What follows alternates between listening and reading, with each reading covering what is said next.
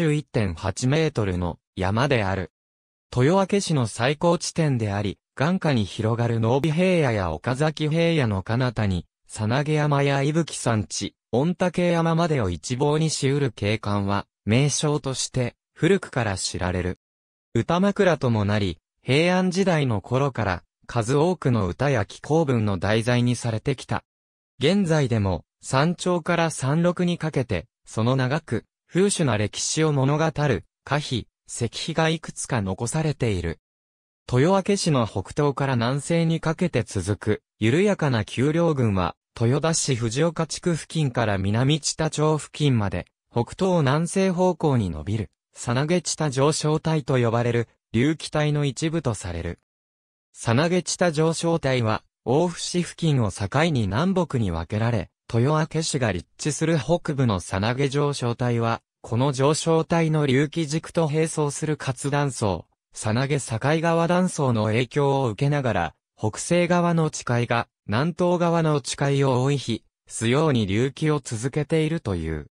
丘陵地一面の地層を見ると、下部では、東海総群に属しおよそ400から250万年前に堆積したとみられる、八高類層のシルト層や砂層などが、複数の層にわたって重なり合い、その上部は、砂礫層が多い、頂上近くで高子魚の、ヤゴト層と呼ばれる、赤活色の砂礫層が散在する。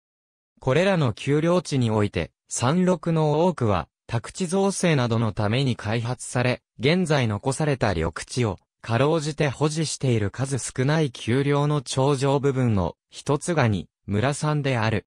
植物、野鳥の生育地として認識されており、都市計画上では12.2ヘクタールがに村山緑地に指定されているほか、豊明市による用地買収も進んでいる。土壌は概ね乾燥しているものの一部に湿地があり、崖地や休憩者地のような変形地も見られる。全般的な植生では、高木層で落葉広葉樹や針葉樹が広がり、低木層は常緑広葉樹が優勢である。笹、清高泡立ち層による草地、一部種路の混在した竹林なども随所に見られる。近世以降、人家が近い里山では、一般的に燃料や暖房、緑肥などに用いるためる枝葉、下草といった有用資源が採集され尽くしたことで、荒廃した箇所が多く、に村山も、また同様の理由から、剥き出しの地肌にところどころ背の低い小奈良や赤松が点在するようなハゲ山であったと言われる。しかし1960年代頃よりエネルギー革命を経て燃料媒体が石油などにとって変わられ、また化学肥料が普及してきたことで山野でのむやみな伐採や採集が収束に村山の姿は徐々に成長した高木で覆われた緑豊かな姿に変貌している。景観保全の面では江戸時代の頃からソメイヨシノの植樹が行われるなどされ、後年にはツツジの植栽、展望台や散策路整備、近年でも、北東側山麓に、自然散策路が整備されるなどしている。春には、山桜や、小葉の蜜葉ツツジなどの花が咲き誇り、初夏になると新緑が生え、秋には、コナラハゼの木鷹の爪、青肌が、色とりどりに紅葉するなど、四季の魅力に富んでいるが、他方で、芝刈りや落葉かきなどの人の手による維持が加えられなくなった雑木林では繊維が進み、低木層の常緑紅葉樹や竹林の繁栄によって他の生物種の存続が危ぶまれる箇所も多くなり、計画的な伐採、間引き、植林などによって行政とに村山環境保全推進協議会といった。民間の団体が共同で自然の形態を保持しようとしている。植生を詳しく見ていくと、西側山麓では、5メートル以上の高木層は、大部分の小奈良の中に桜か木の木などが混じり、おおむね落葉広葉樹が広がっている。低木層では、常緑広葉樹の隠れ実の、落葉広葉樹の山漆紫式部の姿が見られ、臨床には、根笹が一面に生え広がっている。北側山麓では、5メートル以上の高木層では栗、青肌桜などの落葉紅葉樹と黒松、起き上がり根津などの針葉樹が混在する中で、竹林の進出も見られる。低木層では、常緑紅葉樹である久柿の分布が著しく、地上への光を遮っているためか臨床に自生する植物は少なく、満量、ヤブ日系が多少見られる程度である。ごくわずかながら、湿地帯があり、毛線後ケギ帽子といった希少な湿生植物が自生している。北東側山麓では、近年竹林の進出が凄まじく、他の植生への悪影響が危惧されたことを受けて2003年頃に大量伐採されている。高木層で、ハゼの木、ヒサカ木などが少量見られる他は、竹林伐採後に成長した低木の割合が非常に多く、磯の木隠れ実のコナラのチージュなどが種である。一部では、杉や、ヒノキなどの植林も行われている。二村山外略図7月現在外縁部は、南、南東側に二村大の住宅地、西側及び北側に、富士大化大学、附属病院の関連施設、北東側に、愛知県道220号、あの名古屋線を挟んで、豊明市営の直視母園などがそれぞれ立地し、北辺は名古屋市緑区に接している。2、村さんへのアクセスは、2013年1月現在、公共交通機関では、名鉄バスか、豊明市運営のひまわりバスを利用する。名鉄バスでは、名古屋鉄道名古屋本線前後駅からは、富士大化大学病院行きあるいは、地下鉄徳重行きあるいは、赤池駅行きに乗車した場合、名古屋市営地下鉄桜通線、徳重駅からは、前後駅行きに乗車した場合、それぞれ、直市台口で下車するとに村山の東側登山口が、間近にある。ひまわりバスでも、前後駅から、ひまわりバス1号、または2号の、富士大化大学病院行きに乗車し、に村山、または、直市台口で下車する。自家用車等で訪問する場合、愛知県道220号沿いにある、直市台口のバス停留所からほど近くにに村山、駐車場があり、ここに駐車して、脇の東側登山口から徒歩で侵入するのが一般的である。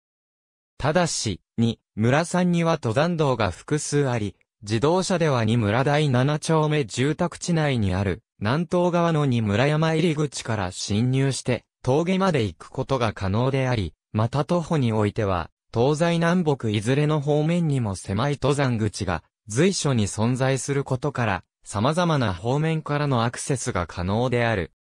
かつての鎌倉街道の道筋を踏襲するとされる、南東部のに村山入り口からの登山道は、コンクリート舗装の急坂を登ると、小峠と呼ばれる高みにまずは落ち着く。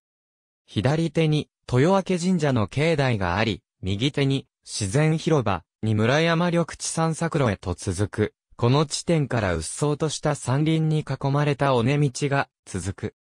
間もなく、舗装が途切れて、砂利道となるが、それでも自動車1台が通うだけの道幅はあり、沿道右手には2軒ほどの一般住宅と、運行寺と呼ばれる衝道が立地している。なお沿道左手にはかつて老人憩いの家が存在したが、2002年末に発生した不審火による火災で消失し、現在は敷地が残るのみである。参道では、間もなく、左側と右側に、それぞれ2本ずつ分岐が生じており、左側向かって、手前の分岐は、豊明市立双方小学校北側裏手からのに、村山と山道、奥手の分岐は、鎌倉街道本道とみなし得るような小道である。右側分岐の内手前の分岐はに村山駐車場へと、下る、遊歩道、奥手の分岐は、大鳥山道と呼ばれた廃奥へと続く廃道のような状態となっている。尾根道も左側奥手の小道も、残り50メートルほど進んで、たどり着くのが、峠と呼ばれる南北60メートル、東西25メートルほど、標高62.6メートルの広々とした平坦地であり、相当宗久守るポー平の山、聖当たる禅寺の飛び地境内でもあって、参拝者の自動車はここまで侵入することが可能である。峠地蔵村など3体の地蔵菩薩像を安置した地蔵堂、その左隣にも1体の地蔵菩薩像を安置した小道があり、小休憩所やトイレなどもある。毎年4月8日には、この地蔵堂前で、釈迦の生誕を祝す、花祭りが催され、甘酒などが振る舞われる。また、1972年に、豊明市政施行記念として催され、現在では、毎月第1日曜日の午前に開催されている、市民歩け歩け運動は、市民が各自の自宅から、このに村山峠を目指して歩く運動である。平坦地の南端部分で蒸気の小道が差し掛かるのがに、村山峠であり、源頼朝の可否、三河鎌倉街道鳴海と刻まれた石柱、そして、ここが、古の鎌倉街道であったことを示す石碑が立っている。なお、この峠はに村山南西六からの登山道も伸びており、ふもと側は愛知中部水道企業団に村山排水場脇の入り口となる。他方、峠から北西に向かい下ってゆく山道が、石柱の示すところの、鳴海方面に向かう街道の道筋であったとされ、再録に至る300メートルほどの区間が現在では、石日の私風を最も深く感じさせる林道となっているが、藤田医科大学の立体駐車場ゲート脇に至ったところで途切れてしまう。なお、道が途切れてしまう手前付近に、北側へと抜ける細い山道が分岐しており、山道を進むと、藤田医科大学構内の車道の脇に行き着く。名古屋市緑区域内のに、村山への登山口は、ここが唯一であると思われる。本来の鎌倉街道は、現在の藤田医科大学病院の敷地内をそのまま、清掃していたと考えられ、やがて、俗地と呼ばれる池に達する。江戸時代に造成されたため池が多い豊明市にあって、俗池は中世以前から存在する古い池だと考えられるが、平安、鎌倉時代から存在していたかどうかは定かではない。街道はこのまま池の北側を回ったと言われる一方、文政年間の馬込村古地図では、俗池南側の堤防道を鎌倉と記しており、堤防の補強後に南回りのコースが整備されたと考えられる。そして、堤防道をそのまま進むとやがて、愛知用水に達し、間もなく名古屋市緑区内に入ってゆく。峠地蔵村の平坦地の北西端にはさらに、北西に伸びる展望台山道があり、沿道右手には、伊藤良村先生の日をはじめとした各時代の様々な言われを持つ石碑が建てられている。そして登り切ったところが南北40メートル、東西15メートルほどの平坦地となった山頂部であり、豊明市の最高地点でもある標高71.8メートルを示す三等三角点のほか、二村山展望台、大城祭、雪花碑、切られ地蔵村、竹呂の花碑、東屋などが、やや密集する園地となっている。この頂上へは二村山駐車場からの登山道から、直接アクセスすることも可能であり、また、愛知県道220号の名古屋市豊明け市、境界線付近にある、北側登り口から登山した場合、に村山展望台の直下に登り着く。2、村山を含めた現豊明け市域に相当する地域は、古来の律令体制下において、終わり国の一部をなし、終わり国を構成していた八軍の中では、山田軍に属していたという。上平年間成立の和名類受賞に記載のあるところの山田軍とは、船木、主刑、一作、仕組み、山口、かよ、両村の七教及び、余部、駅下、神戸で構成され、一般的には、このうち両村郷がに村山という地名の名残となった元と考えられている。両村郷の所在地もに村山南六の靴掛町周辺とする見方が大勢のようである。律令体制下で整備された中地東海道には30里ごとに馬屋があり、演技式によれば、終わり国には、馬津、新溝、両村の3駅が設定されている。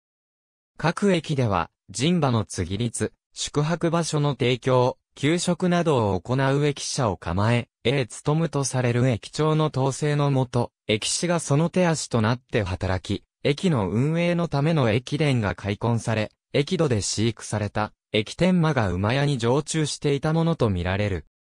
こうした馬屋の一つとして、両村駅が両村郷内に存在したとされ、駅下の所在地及び、周辺経路について、はっきりしたことは分かっていないが、馬の常駐先である馬屋は、はじめに村山南西六の馬兵にあり、後にに村山南六の馬宿に移転したという。馬舞という地名は、馬込が転化したものと言われ、馬宿は、馬宿のことを指すといい、戦前まで地名が残っていたとする、この場所は、現在でいう愛知県道220号、あの名古屋線にある皿池交差点の付近とされる。駅下そのものの推定値も、馬兵衛、馬宿、後年鎌倉街道の宿場があったとされる宿、本郷などが候補に上がっている。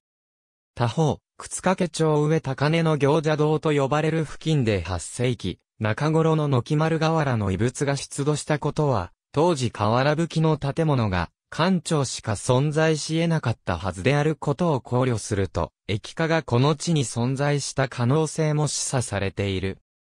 一方、周辺経路については、駅化の候補地を中継する、マベイマスに村山本郷退場高根という、経路を古代東海道の道筋とみなし、すなわちその沿路のいずれかの場所に、馬屋が所在したとも推定できるが、上、高値を中継すると考えられる街道として、近年、平張から白土、若王子体上高値を経て、八橋へと至る古道の存在も示唆されていることから、初期の東海道はこれに近い経路をたどっていたとする仮説も成り立つ。行者道の北300メートル付近にある、ほら、ほら地は、江戸時代初期に造成されたため池であるが、かつて、東海道池などと呼ばれていた頃もあるとされ、経路を想定する手がかりの一つとみなされている。これらの仮説に立てば、馬兵衛、に村山、マ宿などは、東海道の経路からも、駅下の所在地からも外れることになる。ところで、和名類受賞では、両村に、布田無料という読みが、万葉仮名風に記されている。この表記のあり方は、古事記、日本書紀の書かれた奈良時代に属するものとされ、俗日本記によれば713年頃に、国、郡、里の名称を、工事二文字に置き換えるよう官名が下り、この関連で、布田無料が、両村と改名したとも推測できることから、すなわち、奈良時代初期以前から、二村と呼ばれ、布田無料で示される何らかの対象、集落なり馬屋なりが存在したことを伺わせる。なお、駅名と地名の起源は、駅名がまず地名に先んじると言われる。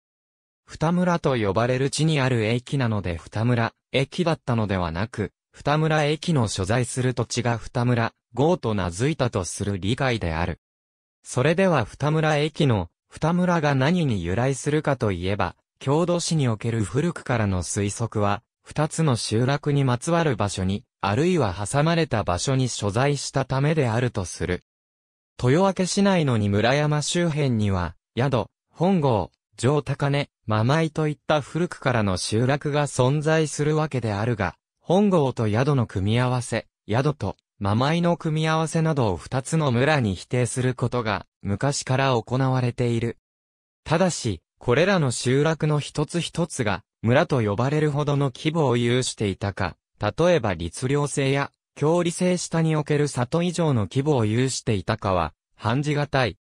それとは別に、鎌倉時代以降にそれぞれ、宿場として発達する、鳴海及び、靴掛けの地に、奈良時代に、すでにある程度の規模の村落が形成されていたとみなし、その狭間に存在していたことから両村と名付けられたと、する考え方もあるが、推測の域にとどまる。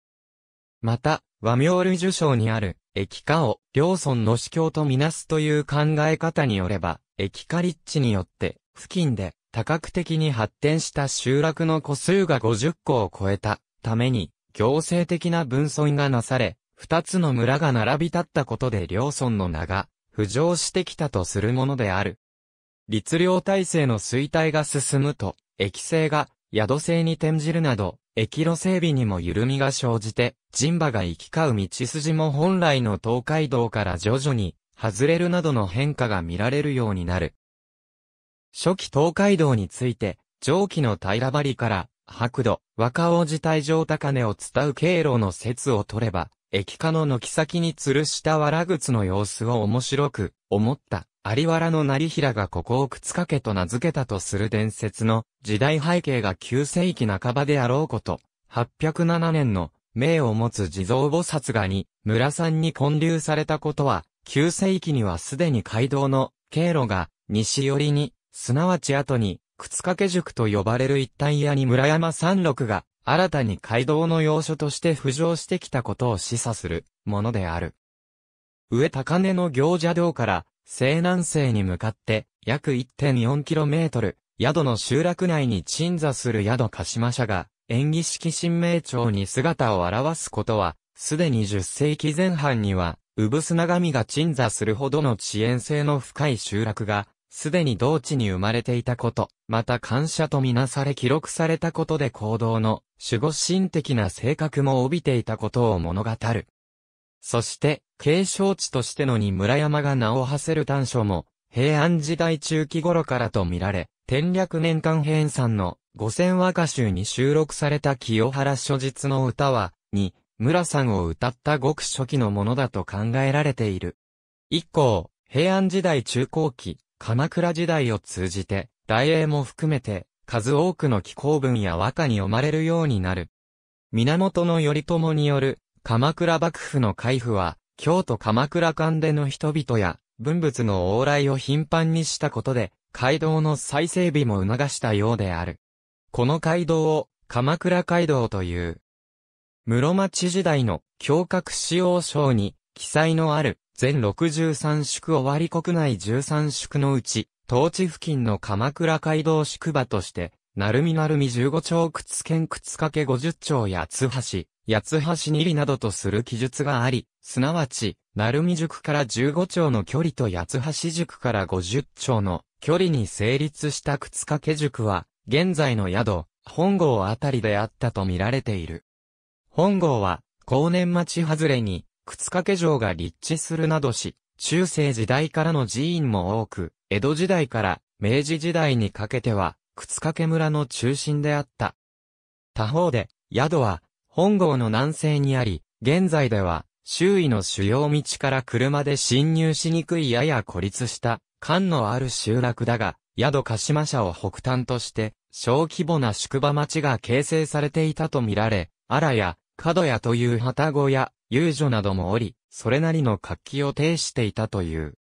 また、いつ頃建立されたものか定かではないものの、宿鹿島社に残る、同標石には、北鳴海、宮の宿、南奥手、チリフ、東、福田、衣堂、西、前後道とある。靴掛塾を北に抜けた路傍には、旅人の交通安全を記念するために、獣王を祀った獣王堂があったと言われ、江戸時代以降に廃墟となるも、現在まであざ名が残っている。さらに北上すると、若宮神社があり、マ宿を経て、に村山の古陶芸と到達する。ただし理由は定かではないが、中世時代に書かれた、気候文の中に、靴掛け塾についての記述は皆無であると言われる。そしてに、村さんについての記述も室町時代になると、継承地としての認識が薄まってきたためか、気候文には単に地名として登場するのみとなり、室町時代後半ともなると、二村、三世六の田楽が、久保という界隈が、街道沿いの物騒な場所して浮上する一方、に村山の名はふつりと消えてしまう。これらのことの理由としては、に村山の所在地についての様々な混同が挙げられる。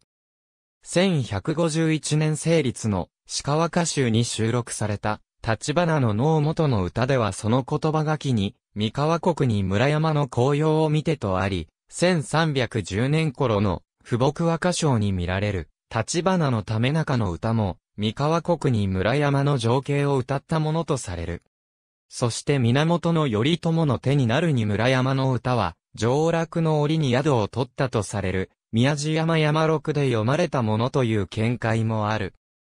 三河三霊山の一つである、さなげ山、小尺と呼ばれ修麗な山陽と、頂からの風光明媚な景観をもって、古くから知られる、宮地山三河国と東東海国の国境近くにあり、歌枕としても名高い高資産、古くより、街道の要所であった元宿に立地する、宝蔵寺の裏山であり、三号でもあるに、村山などが混同されたと考えられている。やがて、に村山が属していたとされる、山田軍は1548年から1570年の間に愛知軍と春部軍に分割されて消滅し、以降に村山や靴掛塾は愛知軍に属するようになる。そして1574年頃から終わり国内では道路整備が始まったと言われ、この時の事業により、後年江戸幕府が整備する東海道の原型が作られたと推定し得る事例が、小牧、長久手の戦いに際して、岡崎を立った徳川氏の軍が境川を越えた後に、あのに投留したとされることである。あのは、現在の豊明市、あの町付近を指すとみられ、東海道の元孫一律家として知られる国の史跡、あのはじめ里塚が残る地でもある。すなわち、この頃にはすでに主幹道が、靴掛けに村山よりも南下しており、王子の鎌倉街道は、街道としての機能を失し、その役割を得つつあったことが伺える。江戸時代に入り、鎌倉街道が廃されて、東海道が設置されたことで、名所としてのに村山は、ほぼ完全に知名度を失ってしまう。しかし享保年間頃には、峠一帯は、高野山真言宗矢ごと山交渉寺の所管となっており、交渉寺の元光堂山という僧侶を中心にして、道雨や城などの不審がなされたとみられ、やがては一大道場の体をなすまでになったとされる。1736年には、当地が平野山聖あたる寺に移管されるが、1740年7月16日に村山は、激しい雷下に襲われ地蔵堂が消失。この時同時に、峠地蔵村の首が落ちる。山頂にあった地蔵村が毛さ切りに切断されるなどの異変も生じている。その後の1764年、聖あたる寺、第八世白龍和尚の尽力により、本堂が再建されている。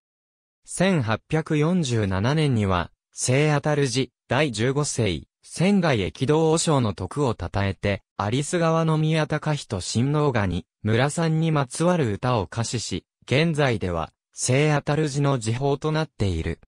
なお、駅道は明治維新後の1870年、総統集大、元山里下持寺独住第一世に直従して、交際寺徳前寺の称号と地位を授かっている。仏道に通じた人の他に、に村山が、人々から全く関心を寄せられなくなったわけではない。江戸時代初期には、三条西実高が1670年の四川州、雪玉州に自身の歌を載せ、18世紀後半には、国学者、田中道馬が、1818年に、江戸から京へ正常していた、歌人、香川歌劇が、それぞれに、村さんにまつわる歌を残している。そして、近在の終わり国内や三河国内からも、18世紀半ば、あたりから、かつての名勝地であったに、村さんに関心を覚え古趣に触れようとする、俳人や学者が訪れるようになる。2、村さんにまつわる俳諧では、名古屋の俳人である、加藤京太、その弟子で、完成三大家の一人としても知られる、井上四郎、井上の名優であり、終わり廃団の重鎮として知られる竹呂などが知られる。そして19世紀中頃、終わり藩士で画家でもあった、小田切春江による、色ずり挿絵を織り交ぜ、各人が、名所、旧跡を、和歌、漢詩、俳諧などで読み込んだ詩集、メイク象形が刊行され、に、村さんについては、和歌が5種、俳諧が2句に一周している。なお、小田切は先んじて刊行された、尾張名所図絵前編でも、挿絵を描いており、挿絵執筆を機に現地を訪れて、在京の文化人と交友を深め、後に、に村山神経を描いている。その在京では、靴掛け連中と呼ばれる徘徊サークルが早くから、勃興していた一方、靴掛村の歌人であった、中野清風により、平安時代から、室町時代にかけての19種の歌集より33人の歌人に読まれたに、村さんにまつわる和歌38種を掲載した二村山古歌集が1857年に成立している。中野は小田切に、に村山神経を依頼した人物でもあり、に、村さんをこよなく愛し郷土の自責を研究し続けた知識人でもあった。そして著名な儒学者であり中野の師でもあった伊藤良尊は、その後に村さんにちなむなど、やはり終生に村さんを愛し、指定の金子信彦と共に、ソメイヨシの千本を植樹するなど山の保全に努めている。古の赤や気候文から読み取れるに村山の所在地について、終わり半センチ市である、終わり市では、三河にあるに村山は、里人の誤った伝承をもとに後年名付けられたものであって、思い違いをしてはならないと、に村山の本家が、終わり国にあることをやや強い調子で主張しているのに、対して、在野の研究所である、終わり国地名校では、先鉄の解釈をあれこれ論じるまでもなく、両国にに村山があることはすでに自明であると、冷静な論を展開している。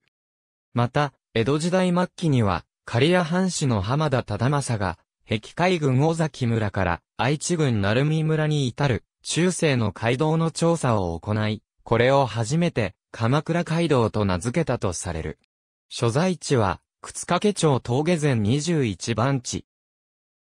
祭神は、各戦役における、市内の戦没者で、4月と10月には、祭事が行われる。1926年に完成した伊勢、神宮四拝所と呼ばれる場所に建築が計画され、1948年には、豊明神社構え社の組織が結成され、構員募集のために、首位書、作成、1949年4月に創立する。本殿や土俵のある境内の東隣には、広い敷地があり、社務所が立つほか、1953年には、市内各所に建立されていた、中根碑や、記念碑がこの地に集められている。愛知県神社町に属し、登記名を宗教法人豊明神社としている。また、社殿裏手の小立には妖拝所の標柱も残っている。峠地蔵村5月豊明市指定有形文化財4月1日、指定。山頂近くの聖当たる地飛び地境内となっている、平地には、地蔵堂があり、ここに3体の石仏が安置されている。このうち左の一体が俗に、身代わり地蔵、延命地蔵などと呼ばれる頭部が欠落した、胴体のみの石像地蔵菩薩像で、高さ115センチメートル、幅49センチメートル、厚み28センチメートル、背面に、大道にという年号が刻まれている。ただし1781年頃の記録によると、当時は、大道22月日という6文字が認められたものの、文字の摩耗が著しく判読しがたいほどであったようで、現在残る大道2の刻みが非常に深いことから、これは後年採刻された可能性が高いとされる。厚田大明神の神直を賜った空海によって建立されたとする伝承があるほか、平安時代末期頃には、山賊、熊坂長則がに、村さんを根城にしており、夜な夜な旅人を襲っていたが、ある夜も暗闇の中から腰刀を振りかざして飛び出し、一刀両断に切り殺した旅人が、実はその地に古くから安置されていた地蔵であったという言い伝えもあり、ここに地蔵村の身代わり伝説が生まれている。長い間露物として風雨にさらされていたと思われるが、いつの時代にか衝動に収められるようになり、1740年に落雷によって衝動が消失した時に首が落ちたとも言われ、その首は、曹洞宗島田地蔵寺の本尊の腹の中に収められているという。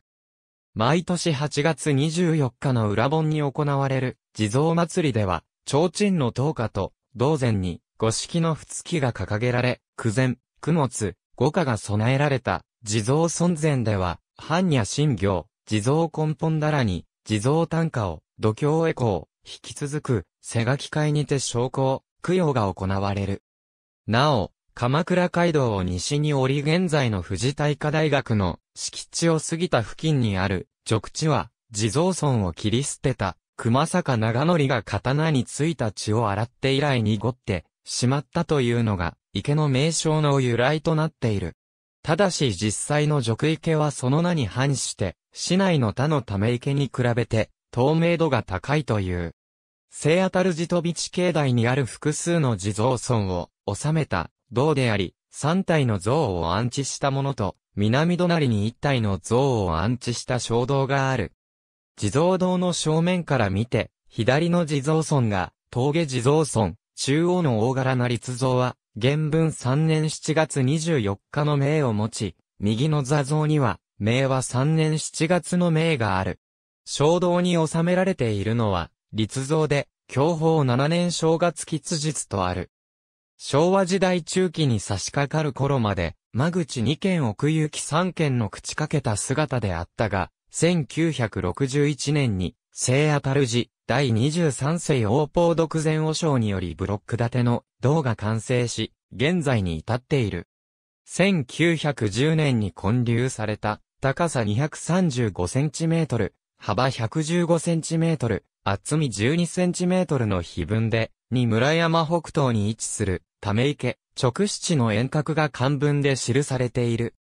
0.229平方キロメートルの面積を持つ、直四池は、豊明市内で最も大きなため池であり、伝承では1528年、五奈良天皇の臨時を携えて、浄土宗玉松山裕福寺を訪れた左、この絵中条常広という直視の指揮下に築造されたという。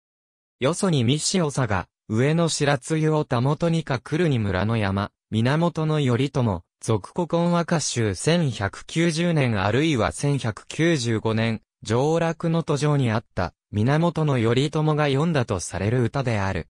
1265年に成立したとされる、直線和歌集である、俗古今和歌集に収録されている。同碑は、1985年2月に、名称地下碑建立委員会によって建立されたもので、ある。未仏は、大道2年巣の木かな、四郎、美和延州、井上四郎は、江戸時代後期に活躍した、名古屋の俳人で、加藤京太から俳諧を学び、また、名古屋城下では、名医としても知られた。1985年2月、名称地下碑建立委員会により建立される。豊明市指定有形文化財4月1日指定。高さ138センチメートル、幅65センチメートル。伊藤良村は、江戸時代後期に活躍した、尾張国の儒学者である。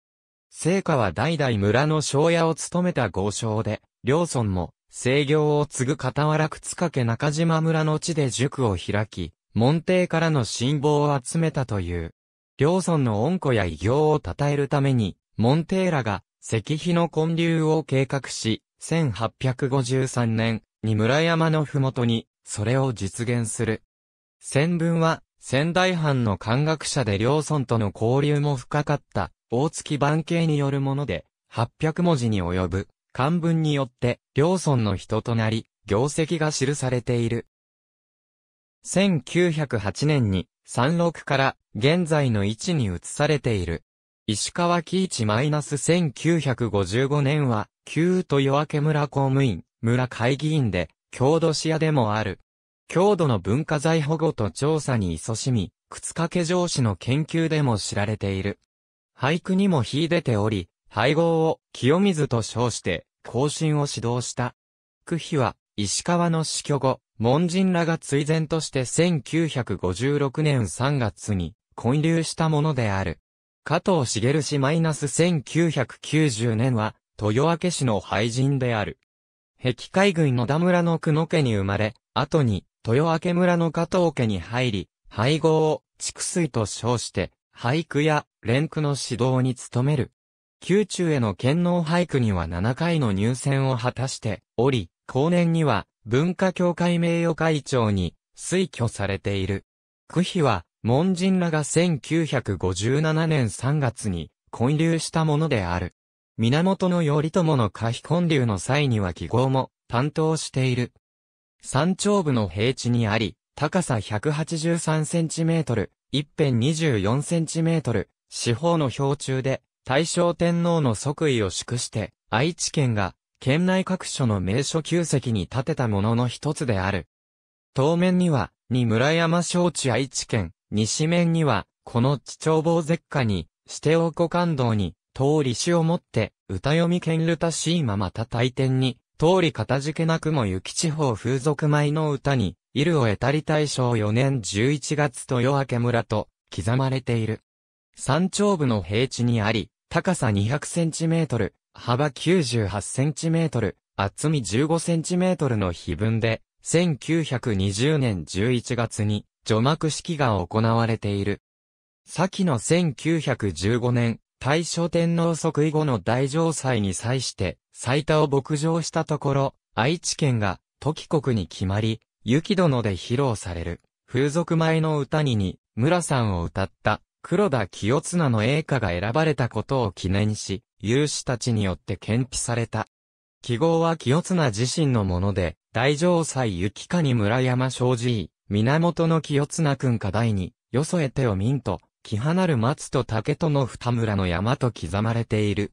豊明市指定有形文化財4月1日指定。山頂の三角点近くにあり、胴体が上下に斜めに切断された形で上下に分かれている珍しい形態の地蔵菩薩像で、別名、毛先り地蔵とも言われる。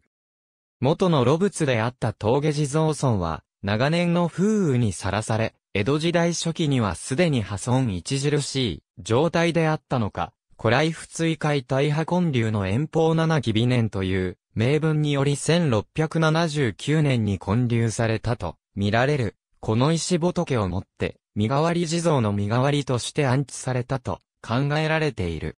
本来、完全な形状の地蔵菩薩像であったはずの、遠石仏であるが、1740年に落雷の浮き目に遭い、現在の形のように避けてしまったという。二村や三河に出るる秋の月、竹呂、朝狩集、朝狩集は、1794年に、井上四郎の編集により刊行された句集である。竹呂は、新州大谷派仏教三条西寺の住職で、尾張拝壇の重鎮として知られる。井上と共にに、村さんに月見に訪れた際に読んだのがこの句である。同碑は、1985年2月に、名称地下費建立委員会によって建立されたもので、ある。1990年4月、1971年に建造された展望台を改装する形で、現在の展望台がオープンする。高さ13.5メートル、山荘をなし、北面には豊明市の首相がデザインされ、最上部はドームを模している。展望部には眺望できる山名や施設名を説明した長官図があり、2007年には愛知県観光施設費等補助金を受けてリニューアルしている。